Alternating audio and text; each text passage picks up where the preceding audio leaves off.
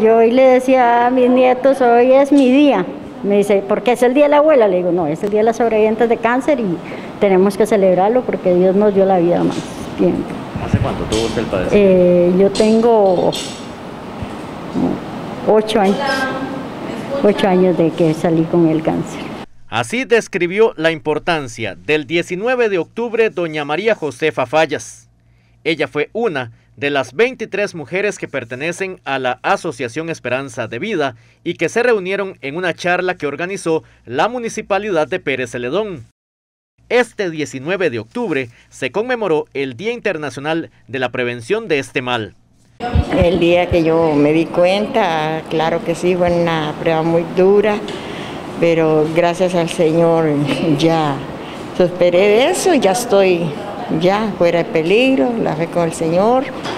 Este, hace aproximadamente un mes me dio COVID. Yo dije, ya de aquí no salgo. Salí del cáncer, del COVID no salgo. Y no, gracias a Dios salí. Sí, fue muy dura las pruebas mías, sí, gracias a Dios todo, ya, ya pasé, como dicen, toda esta tarea. Para estas mujeres, el autoexamen es fundamental para comenzar con el pie derecho la lucha contra el cáncer de mama. Es fundamental, fundamental. De hecho, bueno, parte de que yo esté aquí creo que se debió a eso. Yo en este tiempo que, que se promueve tanto eso, entonces me hacía el autoexamen. Y gracias a Dios en ese autoexamen yo me detecté el cáncer de la pelotita que, que me llevó a, a ponerme en control, porque si no, seguro no me hubiera dado cuenta. Yo les consejo y les digo a todas, todas que por favor vayan a hacerse el, porque eso es muy importante. Este, gracias a Dios que yo me lo hice, incluso yo no me lo hice, fue que llegué de la doctora y me di cuenta, porque yo no me hacía el examen de, mama. En ese, tenso, en ese tiempo casi nadie iba a hacerse el examen. Cuando yo llegué y le dije que yo me sentía como nada, me daba como un dolorcillo nada más y salí con cáncer. Entonces ahora no, yo les digo a todas, ya ahora sí, cada nada están yendo a hacerse en el examen, porque eso es muy importante para todas nosotras. Al menos yo pienso que las que no han tenido cáncer, eh, cada mes ellas, ellas mismas se pueden estar revisando eh, cada año.